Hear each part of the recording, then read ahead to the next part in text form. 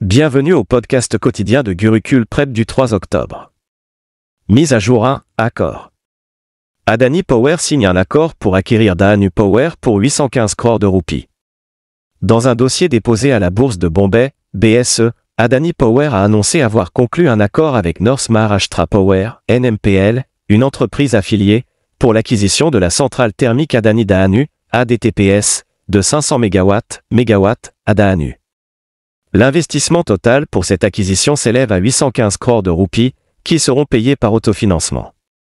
De plus, l'entreprise prévoit de dépenser environ 450 crores de roupies supplémentaires au cours des cinq prochaines années pour prolonger la durée de vie de la centrale. Mise à jour 2, programme et comité. Le ministère de Panchayati Raj lance la campagne Jean Yojana Habillant. Dans le cadre d'un effort national pour promouvoir le développement inclusif, le ministère de Panchayati Raj du gouvernement indien a annoncé la campagne Jean Yojana Abhiyan pour l'élaboration des plans de développement des Panchayas, PDP, pour 2025 à 2026.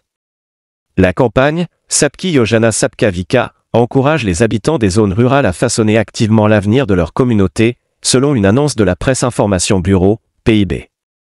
La campagne a débuté par un programme spécial Gram Sabha Orientation Formation dans 750 grammes Panchaya à travers le pays.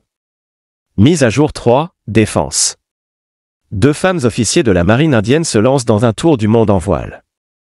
Le 2 octobre, deux officiers féminines de la marine indienne ont quitté Goa pour un voyage difficile de circumnavigation complète, parcourant 21 600 000 marins sur 8 mois. Il est prévu que les lieutenants-commandants d'Ilnaka et Ropa reviennent à Goa en mai 2025. Ce voyage historique a été lancé depuis le Naval Ocean Sailing Node, à bord du navire à voile INS Tarini. Mise à jour 4, Banque. SBI Card lance une carte de crédit co-marquée avec Singapore Airlines. SBI Card et Singapore Airlines, SIA, ont collaboré pour lancer la carte KrisFlyer SBI Card. Cette nouvelle carte de crédit se décline en deux versions, KrisFlyer SBI Card et KrisFlyer SBI Card Apex. Selon un communiqué de presse de SBI Card, cette carte comarquée axée sur les voyages offre des avantages exclusifs avec le groupe SIA. Mise à jour 5, Défense.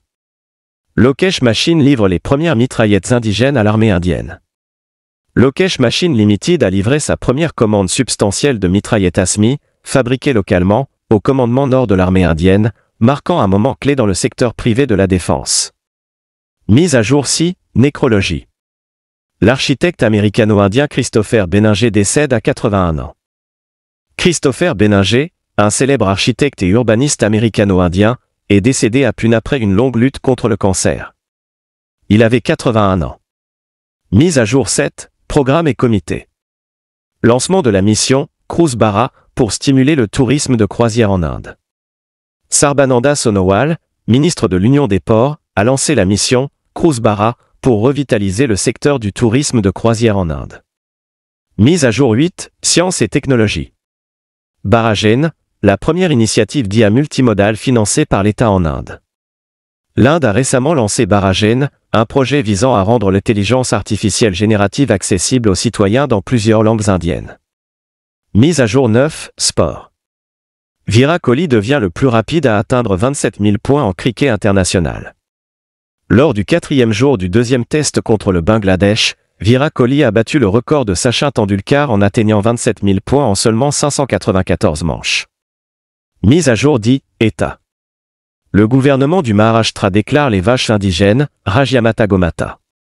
Le gouvernement du Maharashtra a désigné les races de vaches indigènes comme Rajyamata Gomata afin de préserver leur population en déclin.